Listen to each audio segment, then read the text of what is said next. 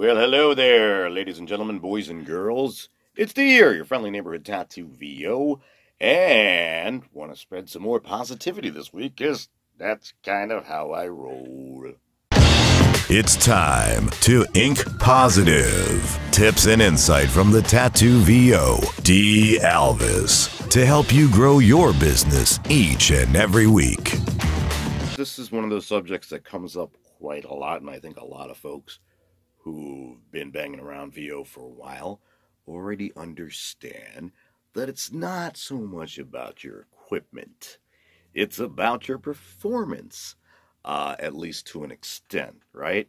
Of course, now we're all talking about the home studios that need to be tip top shape in order to, uh, you know, get these big bookings that are out there, along with all the transitions that have been made due to the COVID situation.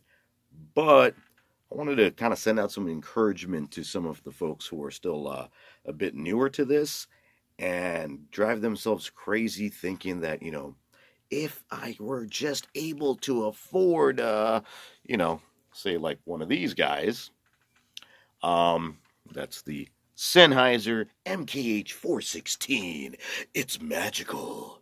It's amazing. It'll do the work for you. No, it, it really won't. Uh, you know, if I'm not using it correctly, uh, if my interface isn't right, uh, if my mix levels aren't right, uh, that thing's not going to help me sound any better.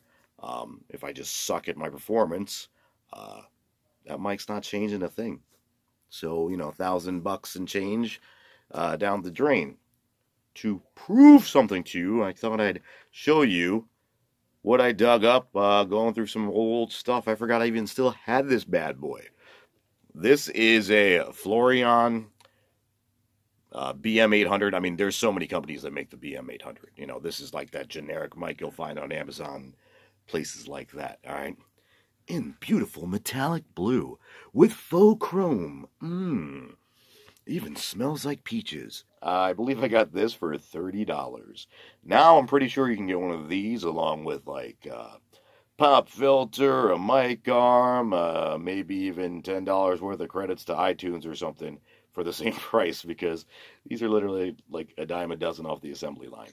However, it did the job. I booked thousands of dollars worth of work with this. Yes, thousands. So, yeah, the moral of the story is it's not about the equipment, it's about how you use it. You know, it's not the size of the boat, but the motor. Whoa! Whole different video. Anyway, keep shining, my friends. Till next bat time. Decrest out.